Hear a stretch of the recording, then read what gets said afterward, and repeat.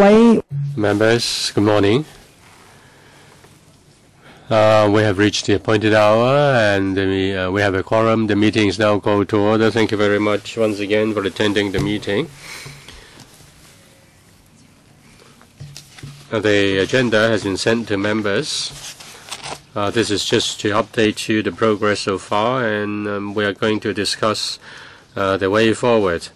After we've elected the chairman, vice chairman, members propose a number of issues for discussion and we have uh, sent this to the Education Bureau via the Secretary.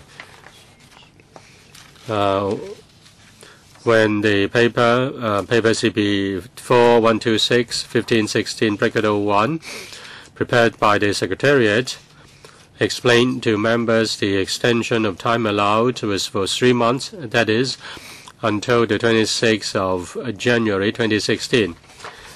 It was said that if there were new, uh, no new subcommittees appointed, then our subcommittee could uh, restart our work in May. As you all know, the FEH Bureau appointed a, a, new subcommittee on the 10th of November 2015.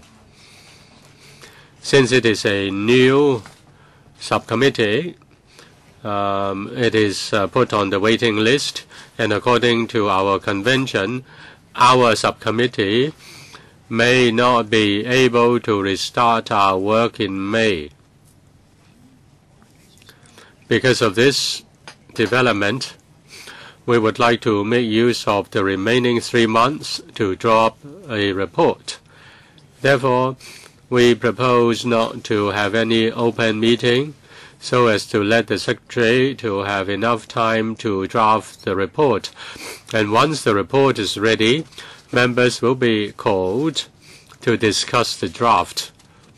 And it is hoped that before the end uh, of uh, January, we can submit a report to the education panel.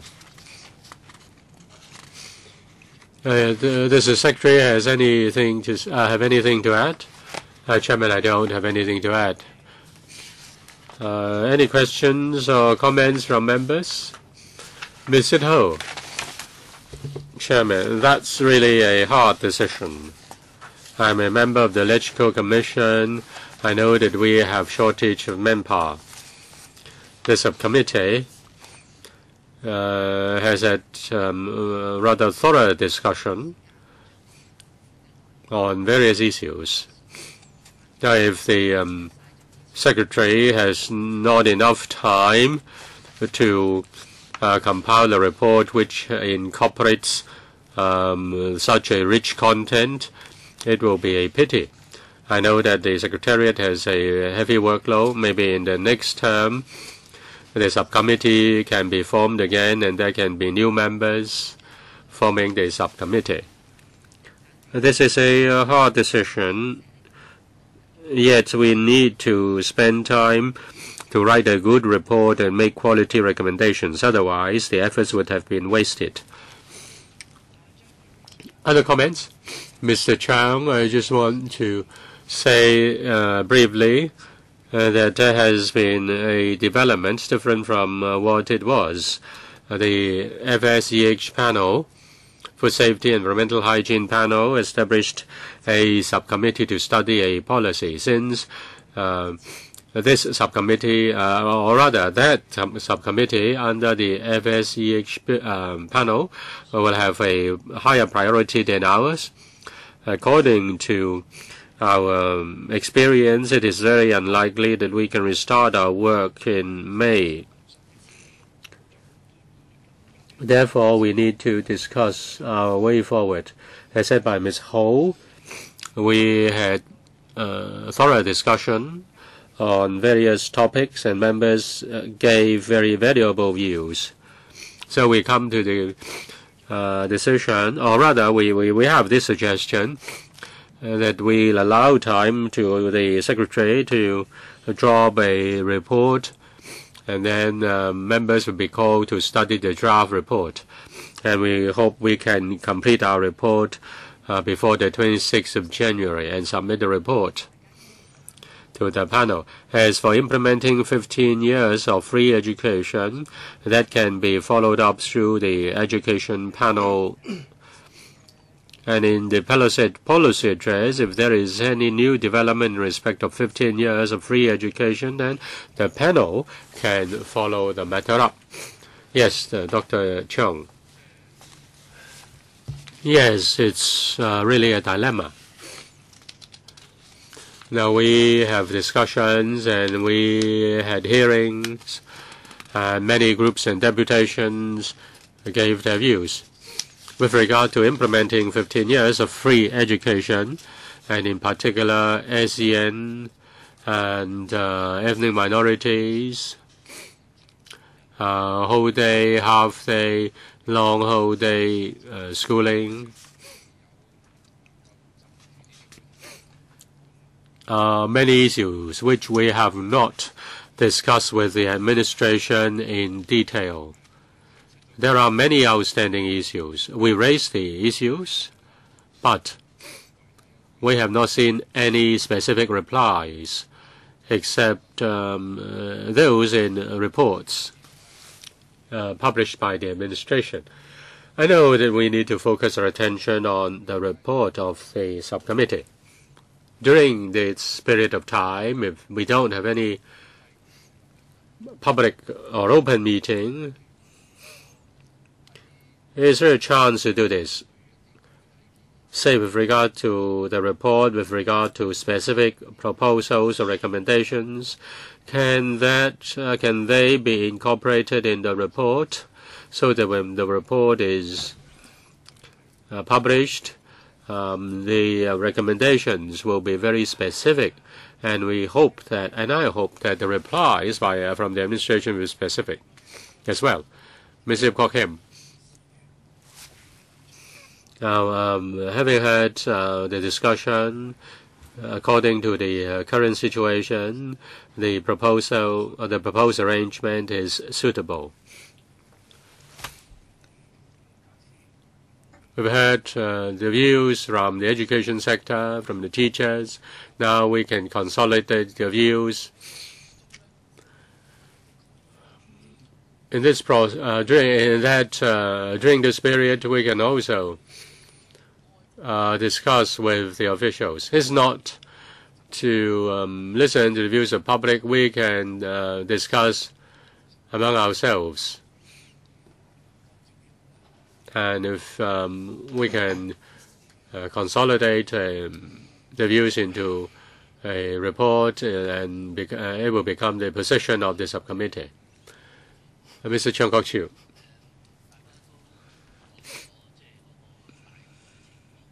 Well, um, um, we know the situation as it is described. Uh, we really cannot be exhaustive.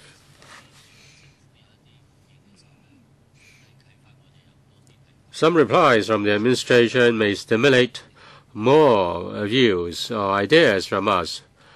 That's unavoidable. Now the chairman says that there will not be open hearing, open meeting, no more meetings. In other words, today may be the last meeting of the subcommittee and then we'll wait. Yes, we wait for the draft of the secretary and then uh, we will call the meeting again and then study the text, study the draft text. Is it so? Yes, indeed. That's what I said. Well, that's okay. Well, in the policy address, there may be something related to this item. Well, I don't know whether the uh, draft report will be available before or after the policy address. Now, if it is after the policy address, then we may uh, put something into our report. Uh, if um, there are certain issues arising from the policy address. Well, now, if the report is written before the policy address, then maybe after the policy address is delivered, um, all our questions have been uh, addressed. Well, let me um, listen to other members first. Mr. Leung Kwok-hung, uh, the policy address by the CE may include something that is related to the work of this subcommittee. Now, uh, the CE drove me away when I met him. Uh, I uh, don't. I didn't know, uh, or I don't know whether whether members uh, put the proposal of 15 years of free education to him. If there was, then uh, he would uh, have to answer this in his policy address. Did the CE told you he would do that, or he would not do that? I mean, he would not do provide 15 years of free education. Now, if there uh, will be 15 years of free education, there should be very good uh, coupling of the um, various stages. And only you know, Madam Chairman, because you are an EXCO member. Now, can you uh, leak some uh, information to us? Uh, it's just the direction, not the details. I'm not joking. If you know, you don't need to tell us how do you know you just uh, give us a tip uh, or give the secretariat a tip. Now, if the secretary is uh, or if the if the CE is going to do that,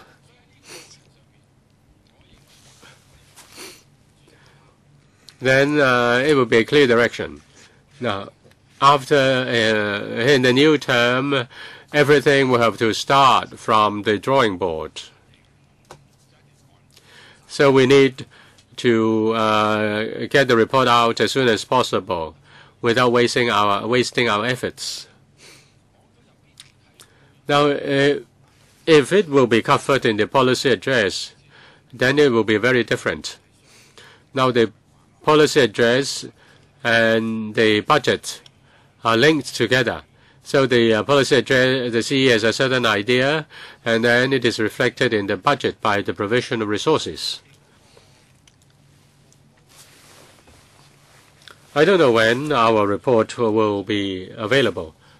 I think we should have an interim report to express the uh, wishes of the subcommittee so that the CE is aware of um, the wishes of a subcommittee in this council. It's common to have an interim report. Well, I don't uh, understand these uh, systems. If you have, if there is an interim report under your leadership, we can draft an interim report. We can put down our wishes and give it to the CE. Mr. Chan Chi-chuen, I think there's a more fundamental issue. This subcommittee, or rather the uh, panel, can do anything uh, really useful. Well, apart from uh, our efforts, it's important that the government also do some, also does something.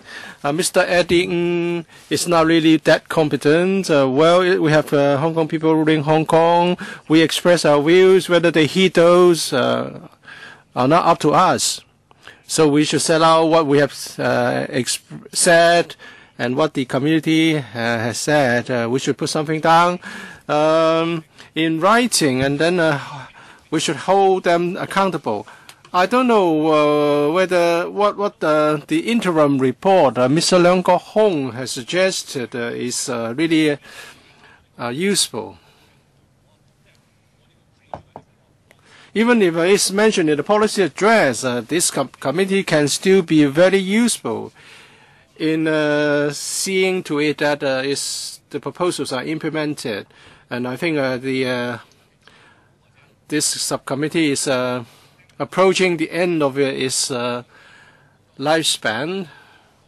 So whatever report we call it, we should uh, express our views strongly.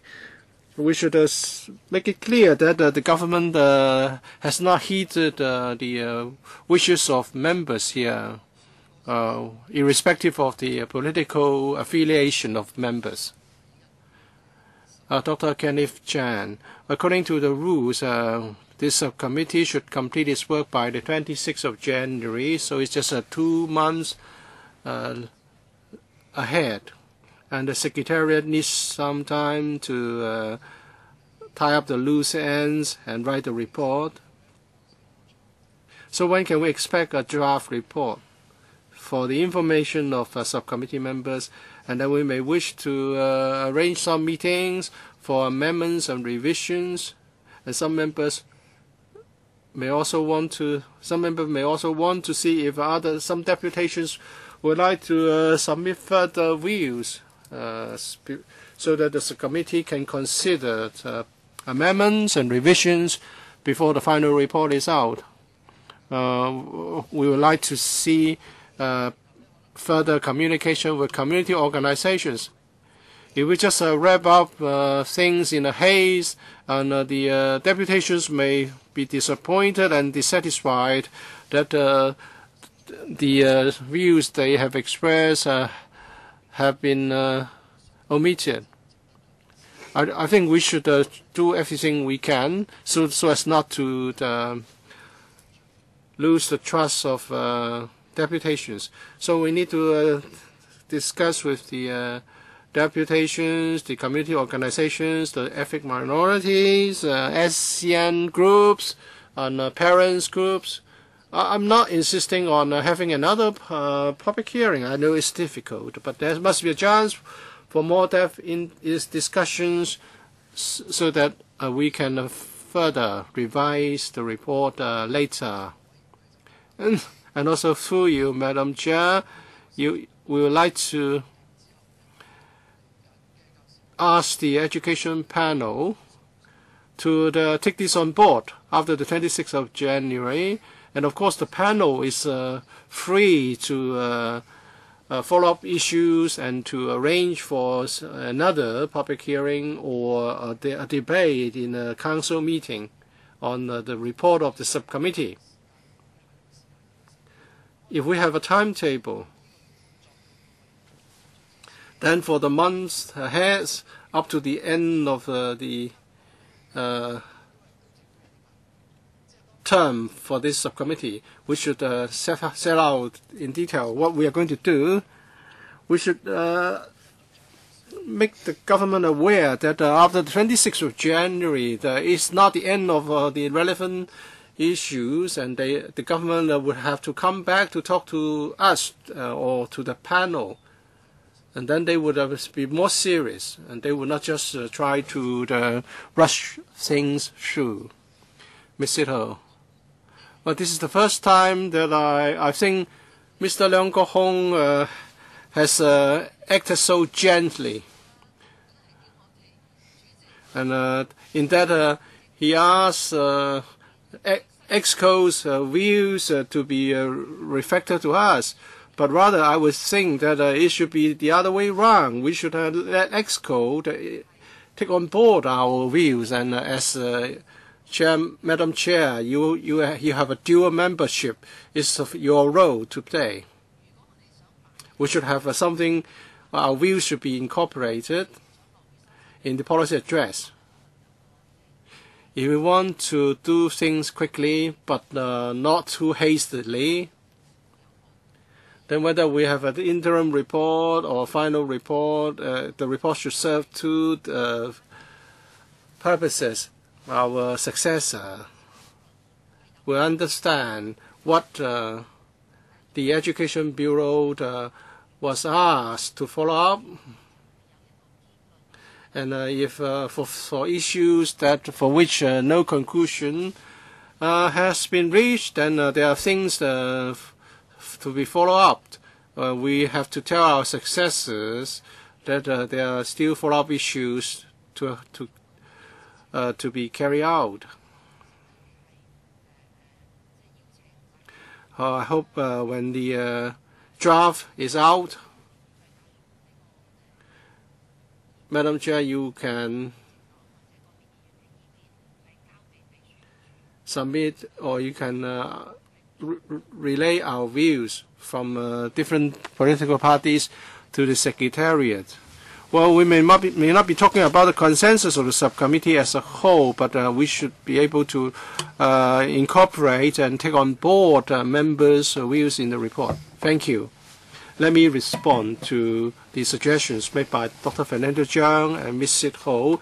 If members have uh, specific uh, views about uh, 15 years of free kindergarten education, I would encourage members to the, submit written information in writing to the Secretariat. And uh, this, the clerk uh, would uh, be able to tell you the timetable in, in a moment. Uh, turning to the relationship between uh, our work and the policy address, our term uh, will last until the 26th of January. In accordance with past practice, the policy address will be announced on the 30, 13th of February Our subcommittee's report is going to be uh, based on past discussions of the subcommittee and also the uh, con the information submitted to the clerk. So this is uh, in parallel with the uh, policy address. I, be, I believe uh, 15 years of free kindergarten education will be an important part of the coming policy address. And the chairman of the education panel, uh, Mr. Uh, Dr. Lam Tai Fai uh, will arrange a suitable time slot for discussion. I think uh, he would uh, uh, give it uh, its due priority. there's no question of which should come first. Mr. Leung Kong has asked for a midterm or interim report, and uh, there's certainly ways that we can uh, follow up the issue and I asked the clerk before the meeting uh, as regards when the draft would be available. We know that uh, the secretariat staff are very busy. The, the clerk has promised that uh, he will make it available as soon as possible. We would uh, do make our make the best effort to, to prepare the draft uh, at the end by the end of uh, December or early January, and then we can have more meetings until we have finalized a report. That would be the objective. But please uh, appreciate, uh, please uh, understand that the Secretariat uh, is very uh, busy and uh, it's not at all easy to meet the deadline of or target date of December. Policy address. rest assured that I would relay the members' views to the executive. And I believe you can always uh, take up the mat relevant matters with the uh, undersecretary. And uh, he, he was uh, with us in the meetings, and and he uh, should should be able to understand our views clearly. Whether the, our suggestions will be supported well, uh, it's up to the uh, executive to consider our views uh, positively. Once again, thank you for coming to this meeting. If you have further the points that you want to take up with the secretary, please let our clerk know. please say something about the timetable. Well, I will issue a, a circular and inform you of the the the timeline so that members can uh, submit your views uh, by certain dates, and, uh, and then we can take take your views on board in preparing the report. All right, I'll ask the Secretariat to take appropriate action if what has been suggested is acceptable. If there's no other business, uh, then meeting's adjourned. Thank you.